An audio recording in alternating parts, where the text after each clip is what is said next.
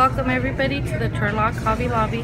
We're open for business and we'll be having our grand opening this Monday, September 11th at 9 a.m. And everyone's welcome to come. We'll have some pastries, uh, a good time, some new specials going on. Uh, hobby Lobby, if you don't know a lot about it, carries anything from our crafting hobbies, uh, paper crafting, which is scrapbooking, stickers, different seasons. So right now we have Christmas, fall, and Halloween. Uh, we carry a large selection of floral items and home decor, home decor being our biggest areas. We also offer services like our fabric department and our custom framing. Um, just a large, large range, range of stuff from crafting to home decor, anything you can need. We welcome everyone. We're very excited to be in the community and we appreciate you guys having us.